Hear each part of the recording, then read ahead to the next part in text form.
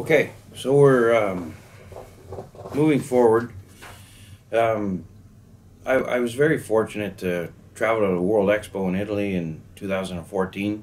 One of the things very noticeable about their models versus, say, North American models was that I don't know the the number as far as tanks go on the at the show there, but I would suggest there was around 400, maybe a little bit more. But here was the great thing in Italy. It was in a little town of Stresa, fantastic model contest and, and a wonderful setting. But that all the models, uh, all the models in the whole show, which was about 4,000 in total, were all on these fantastic bases. And the tanks themselves, if they were just individual tanks with no figures, they were still set in a setting. Unlike North America, where it's very common to go to a model show and and I know that space is limited and that sort of thing, but there's 200, 300 models, and they're all on the tablecloths for competition, and that's that's fine too. I mean, as I just said, space is a, at a premium, table space, and, and but one of the things that it avoids is picking up your model and running a risk of damaging. So if you can, now one of these two bases are purchased at um, different shops. IKEA for this one, and and, uh, and a camera shop for this frame. But you can also, if you even go to a garage sales and, and, and things like that, you know how the you go to a garage sale and there's a 25 cent print. Never mind the print, it's going to be lousy, but the frame might be fabulous for what we do. So don't hesitate to, to, to snoop around and you can also find these types of frames at Walmart and, and that sort of thing. And these are going to be the basis for your platform for your model. They're not expensive. I mean, you can you can go to Walmart and pick one of these frames up for under ten dollars. You can probably get two for ten dollars. So, but they're great. They're great for 35th scale models. So don't um, don't panic that you don't have a, a, a saw and a miter box and all that stuff to to cut the 45 degree angles and all that. Don't worry. Let Walmart or or, or, the, or a camera shop do it for you. And, and, and if you go to the higher end, you know, uh, restoration hardware or that sort of stuff, you can find fabulous frames for no more than $20. So this part of it sets your model off as well. It's um, what, what you don't want to do is you don't want to do what they used to do in the 70s, 80s, even in the early 90s. You just get a piece of wood and you from a log and you cut it in half and you have this log with bark and all that sort of stuff. That, those days are gone. You spruce your model, spruce your model up with with a beautiful frame. Once we get through, pick out our frame, then we go back to Home Depot insulation foam uh, is what I use for my frames. Um, you can get this in the blue, you can get it in the pink, of course. But any construction site will have this hanging around, so it won't be hard to find you some foam, and you're going to cut that to the inside perimeter of this frame. Drop that in. I'm not going to get involved in, in, in, construction of all that because I think the people watching our video today already have that ability, and let's not waste the time to to go down that road. But then once you now, I use the Bar- Barbakan road sets and, and uh, stone wall uh, sets. They're fabulous. They're not very porous compared to some of the hydrocal pourings that there is on the market. But having said that, I still prime.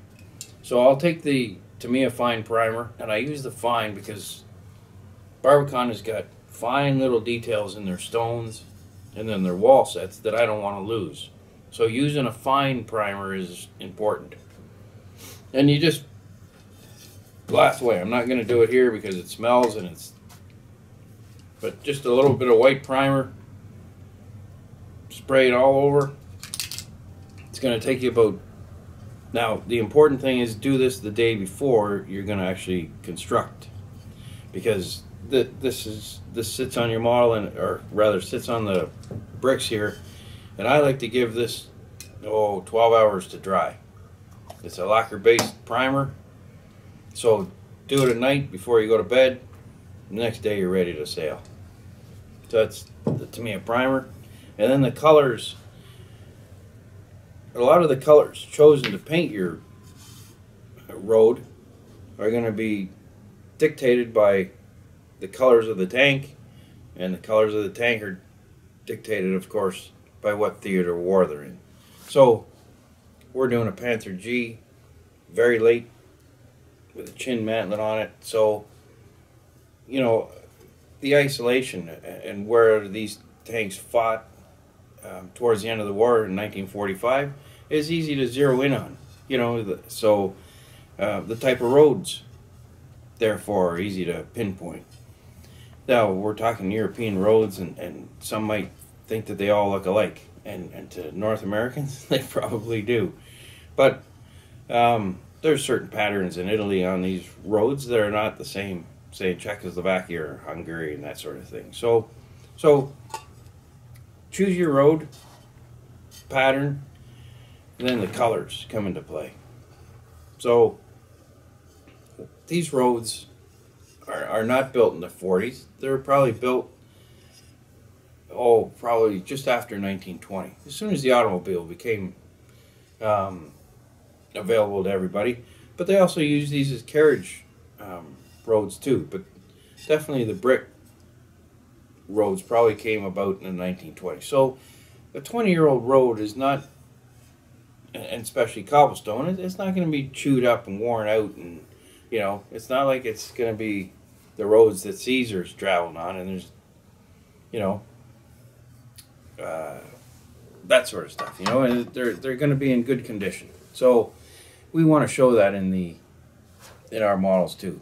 And one of the things that we will do in the end, even though we're using flat paints, is, is it's very smart to take a cloth, cotton cloth, and just rub down where all the tires would have rubbed across. And if you look at any cobblestone road, there's a little bit of an eggshell sheen to them. So when you're finished painting and and you put your um, uh, powders on to fill in for the for the grout, then just take a cotton cloth and rub down each side to give it a semi-gloss um, a semi-gloss look. It almost looks like the wet look. It's not. It's it's it's less than that, and that's just to show where the tires have constantly run. And you think of how many automobiles have run across here, plus the the tracks running across.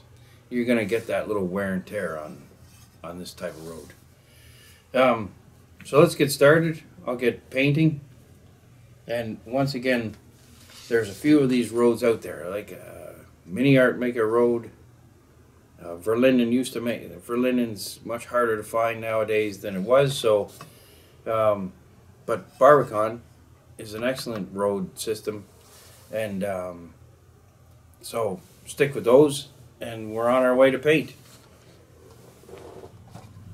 Okay, so the colors for the roads are as follows. I like to use XF10 from Tamiya, XF55, 62 and 63 and the majority of the color is going to be number 63 German gray. And I'm gonna mix it up with now this is filthy looking lacquer thinner but it's my formula that I use when I'm mixing these colors. I use lacquer on here. It spreads nice and it evaporates quickly.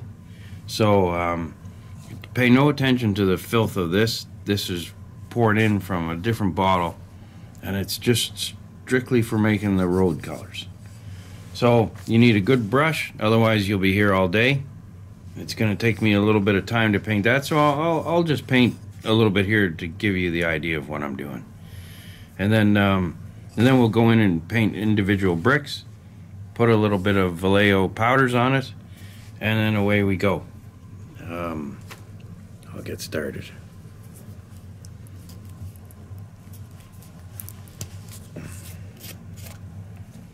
And uh, again, as you've gentlemen have noticed with my uh, painting of the 813 Panther tank, I like to use a lot of thinner. So once again, I'm going to use a lot of thinner.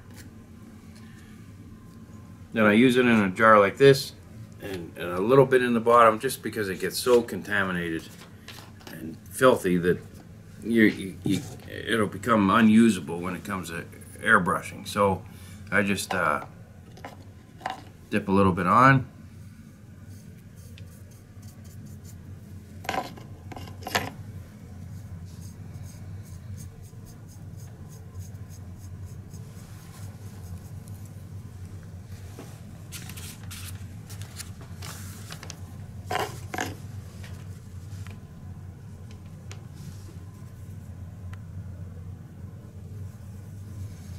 So I thin, uh, so I thin out the uh, XF63.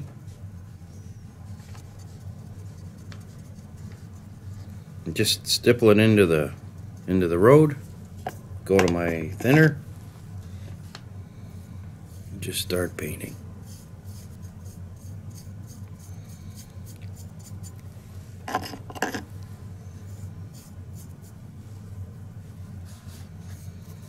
And you're loosey goosey here at this point. You're you're just getting the foundation down. Foundation of color.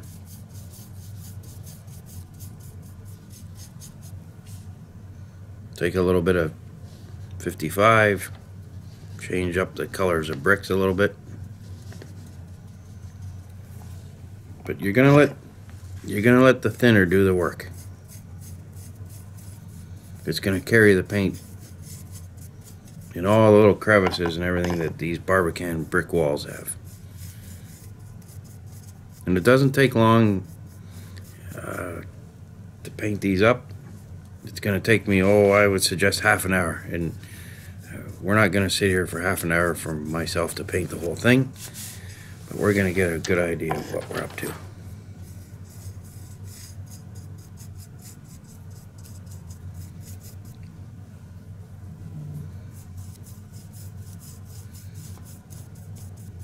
And you can um, you can use dollar store brushes for this. I, I prefer to use a one that's not going to throw hair. So uh, I have a pretty good brush here, an artist number 10.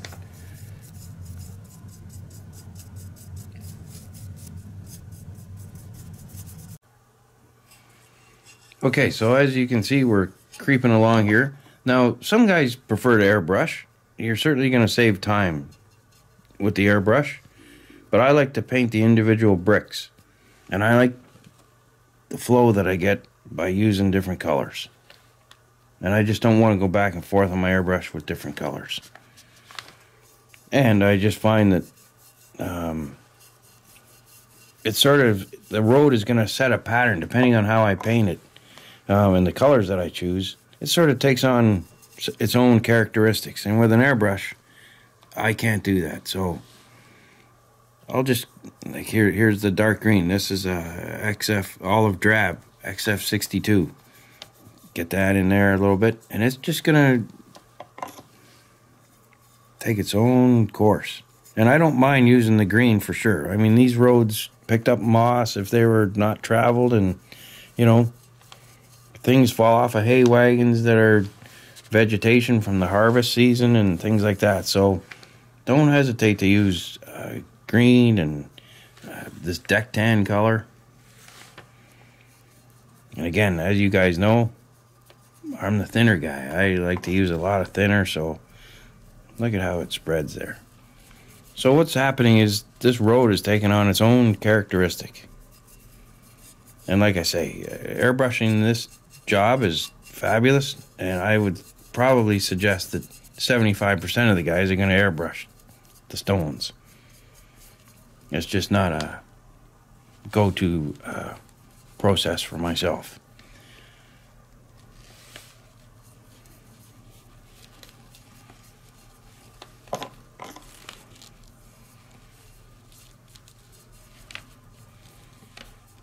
And then once you think you've nailed all the crevices and everything, turn your road around to catch the other side of the bricks. You see I've missed a few here. And you have to go back in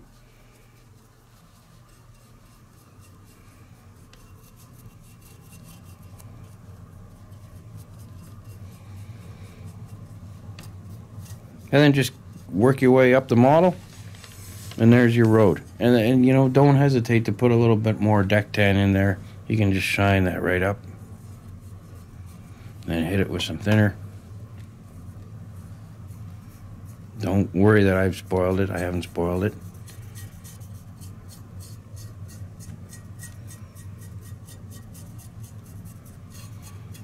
See, so now you have a whole series of different colored bricks.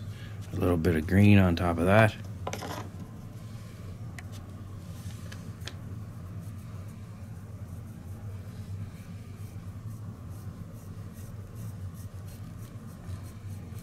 As you can see, it's all softened out. Now, once you get it all painted, now you want to pick out individual bricks in a whole line.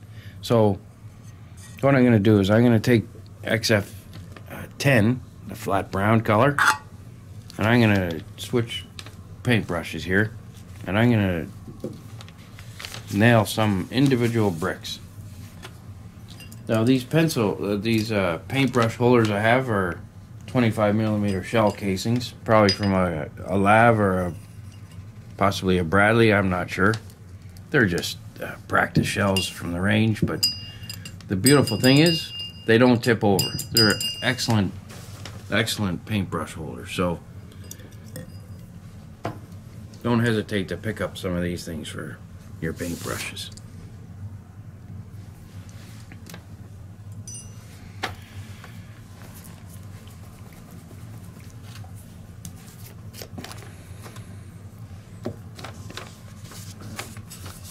So a little bit of thinner and then just randomly pick out bricks.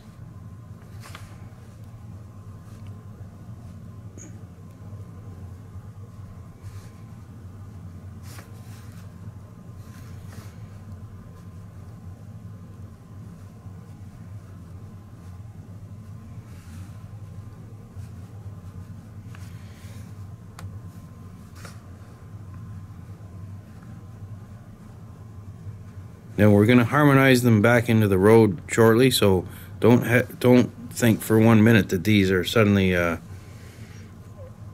the end of the practice here. We're going to uh, add a little bit of thinner and a little bit of our gray our deck tan and go right over top of the red and once again add character again and then in the end we're going to put some powders on them individual powders and it'll all harmonize together. And then you can use a little bit of Tamiya flesh if you want, add it to the brick color. That'll add a nice um, thing. But we'll talk about the adding flesh to it when we're doing the stone wall.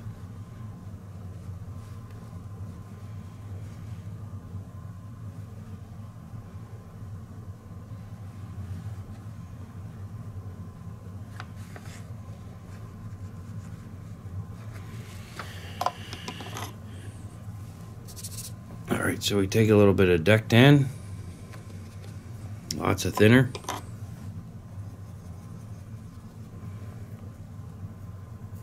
Give it a wash all over. Now the red bricks that were sort of dotting our roadway there, now they just blend in. You can barely see them. And this is just a sort of a highlight motion.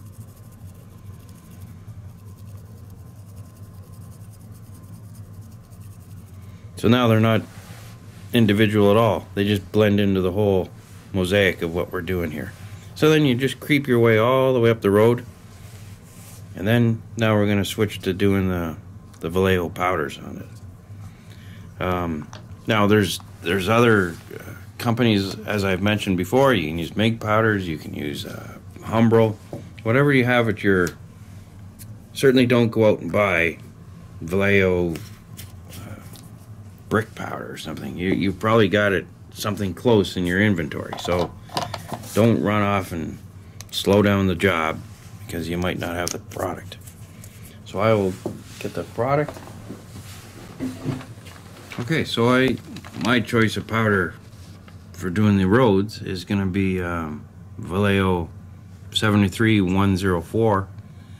Uh, Um, and it's and it's the nice thing about this. Back to the word harmonizing. This is also the color that we were weathering the the tank with. You know, portions of the tank at the back end. So um, you have to certainly choose a color that's very similar or exact color that's already on the tank so that they're going to marriage beautifully in the end. So our little scene in the end, which is coming up in a few episodes, um, it's all going to blend perfectly. So by and it's all by choice of using the same colors. And I just dabble it everywhere. And use, you know, when you purchase these powders, the beautiful thing is you buy them once, you don't have to buy them ever again. And I'm to cake this on pretty good. But yet, I have a lifetime supply in this little jar here. So, even though they're expensive out of the hopper when you're buying, you know, three or four of them at once, um, you'll never have to buy them again. So, don't hesitate to lather this on.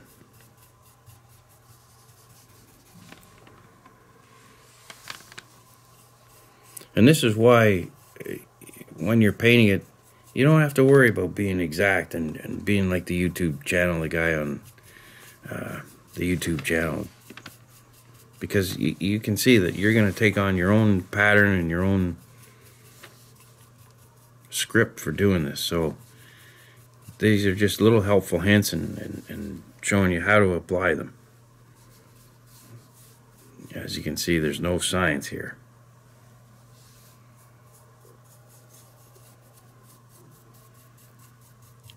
Now, one of the things you do next is you, in the in the direction of tires. This is important to do this. Is now you're going to press it in down into the cracks and crevices of your road.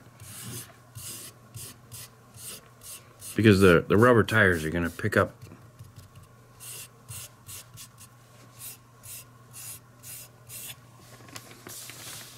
as you can see it's all come together and then those uh, bricks that I painted with the uh, with the uh, XF10 they're almost invisible now but um, but you can still see them. They're dotted here and there on the on the thing but they uh, simply blend right in even though I was using a, a reddish tone on our bricks. And if you've uh, and if you put too many red bricks down or too many bricks that you don't like, simply just get out a paintbrush and dab in a new color and, and paint right over top. Now, the next step is a step we use to the pigment fixer. And um, I'll go over the pigment fixer in a minute. Once once I get the the wall, because I'm going to demonstrate painting the Barbakan wall in a second which is a set of new colors. And then after that, we'll put the fixer on to hold these pigments where they, and all I'm going to do is, is what I've done in the previous videos with you guys is just take that X20, the Tamiya X20 paint thinner, and just drop it close by with an eyedropper. But you can see our roads coming together. And like I say, the process is going to take half an hour but that's not a lot of time when it comes to hobby time. It's it's it's part of the part of our makeup. That's why we work, so we have time to do this. so okay, so we're gonna we're gonna find our inspiration where we're gonna find it, whether it's in a, a traveler traveling brochure to Italy or a, a picture from a cover of a magazine. But this is by Pete Usher. This is a great diorama and look at the look at the eyes on the soldiers. You know, obviously there's a phantoms flying over and what have you, but look at the wall in the background. You know, there's 15 colors in that wall. And then he's and then he's done this fantastic thing with the sign. So those are the great things that we have to look for and try to achieve. So I'm just going to open it up to the wall. There's a there's a brief section um, thing on the wall here. So, um, and as you can see, I was talking about all the colors in the wall. So if you pick up the uh, this magazine and you can see the tightness of the tank on the base, certainly doesn't leave a lot of space, and that's what you want to achieve. So there's not a lot of negative space going on in this diorama. And he's painted this street asphalt, and he's he's done a fantastic job. And his choice of colors off the wall and off the road are certainly blended amongst his tank as well. His M48 is all harmonized in the diorama. So you have to study pictures like this. Um, you, you just can't go it alone. You're you're gonna have to come up with a game plan. And in our case, we're certainly using the colors in our wall and in our in our road here that we've used all along in the video to paint the tank, so that when they're all clashing together, there's no clash. They they harmonize together. So anyway, so yeah, don't hesitate to even though this is an M48 in Vietnam, don't hesitate to apply it. Same rules to 1945. It's it's uh, it's what you must do. And what's so eye-catching about this diorama, I think, is is the Seven Up pop bottle. It's just a fantastic thing, and I hope that Pete goes on a little more in, in a future article about how he did the sign because it's certainly a fantastic um, part of the diorama and all the soldiers looking up at the F Phantoms and the and stuff like that. It's a it's a very good diorama.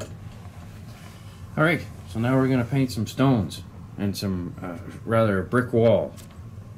Now the colors used again are gonna be Tamiya, but certainly Vallejo has some fantastic um, colors for this too. In their wargaming series, they have all kinds of funny colors, and um, so don't hesitate to get off to me and hop into the game colors that Vallejo has because there definitely is a great couple of brick colors for um, doing what we're about to do. And the railroad guys, don't hesitate to go to your local hobby shop and look at the railroad um, uh, stone wall colors that they're going to use. So, um, we're all going to help each other. Don't hesitate to pick up a modeling magazine on uh, on trains to find how they paint their buildings because the, the model railroaders model railroaders have been doing it a lot longer than we have so they have their they have great ways of achieving what we're going to achieve as well so anyway I will get the proper colors and um, and we'll carry on Okay, so now we're going to do a little bit of uh, brick, brick wall.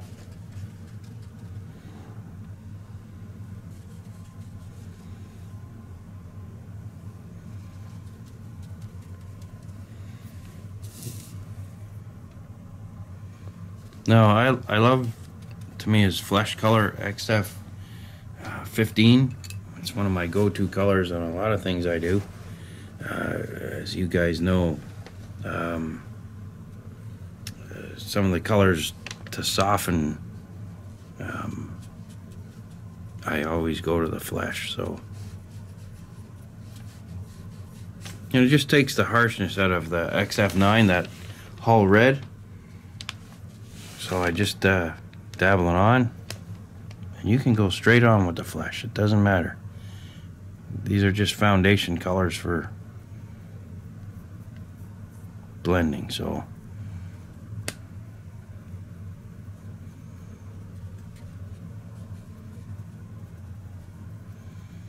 Now as you guys know these are acrylic paints so they dry quick so keeping your brush damp with a little bit of lacquer thinner and you can use XF20 I just find that using the using the lacquer just suits me a little better.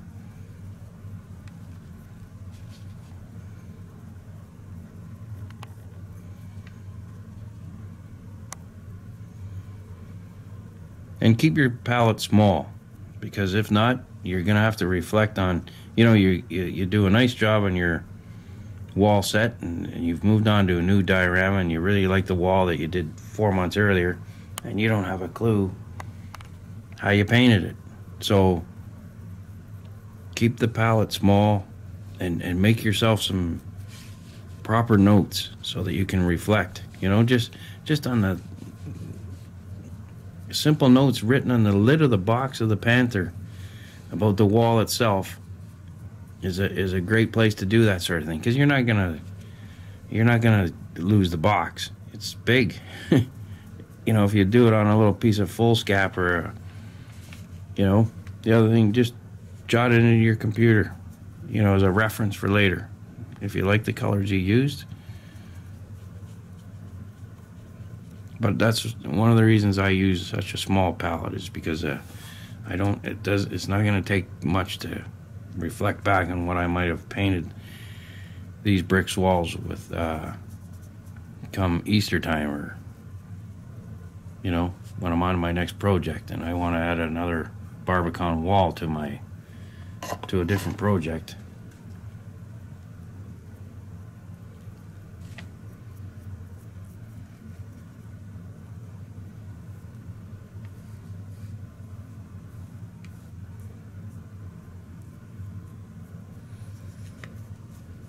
And the nice thing about the Barbakan walls is that they're double sided. There's no flat. You know, they, these still are all all the way around. There's not a a flat side that you have to sort of sculpt your own bricks into.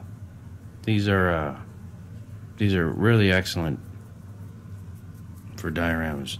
The other the other great guy who's doing this is Armand Bayardi. They're resin but they also take the paint really well. You might want to prime them first, but Armand Bayardi's been doing it, oh, at least 30 years, and his things are excellent as well. And, and sort of multi-pose, you can assemble walls, you know, with about three or four different sets that he has. So, an excellent little, and Armand Biardi, uh, has also got cups and saucers and uh, knickknacks for 35th scale armor that, you know, he's he's got about a hundred little pieces in his um, in his company that are excellent for 35th scale. And, he, and he's doing other scales too. He's doing larger scales and but they paint up beautifully. So don't hesitate to look up Armand Bayardi for his things.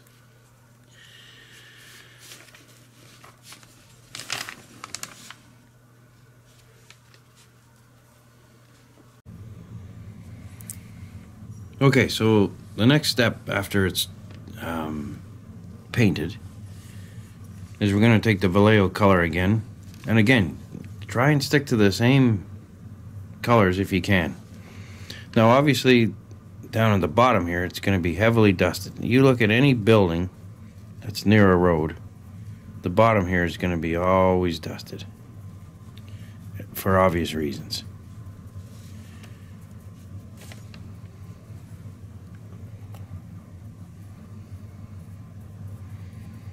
Now to apply the powders, you're going to need a, a, a, probably a number five for this, a number five brush, and it, and it, it, it just helps the process go along.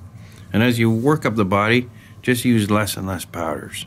You have to put powders on, yes, correct, but not as much.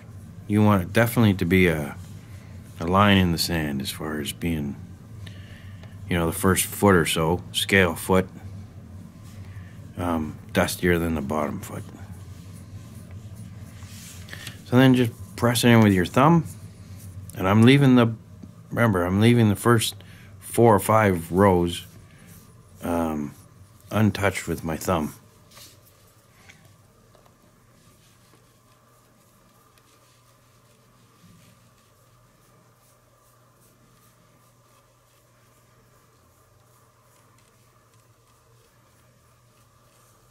Get all that muck down there. I'm not going to touch that yet. And just push it in with your thumb.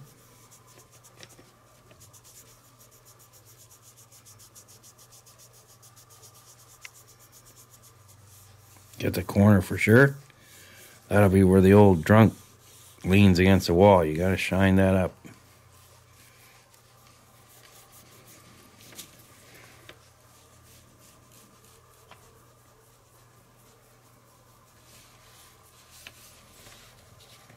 And as you can see, it's coming together. And I'm not going to put my thumb against any of this brickwork here. It's just up here that I use my thumb to grind it into the cracks and crevices of the bricks. And then just go around the whole structure like that, the whole uh, thing. Give it a couple little taps, and there you are. She's pretty much done. Now you can paint graffiti on it if you want. Put a little poster on it. Um, add a little color. Um, you can uh, individually pick out some bricks if you want. You know, with a little bit of flesh tone and some some of your uh, XF9. Um, but um, but in general, she's done. Other than painting the cap, and the only reason I haven't done that yet is because number one, I want to hang on to it. it, it it's strong enough for me to use this as a uh, as a holder. So, but what I'll do is I'll hand paint that momentarily, and that's it for painting the bricks. Okay, so we're just about finished here. I'd just like to talk about our next episode. I'm going to uh, paint the sidewalks, maybe put a little bit of vegetation in between the nice cracks. Uh, these are the Barbakan sidewalks and um, excellent, excellent uh, products. So I look forward to seeing you next episode. Thank you so much.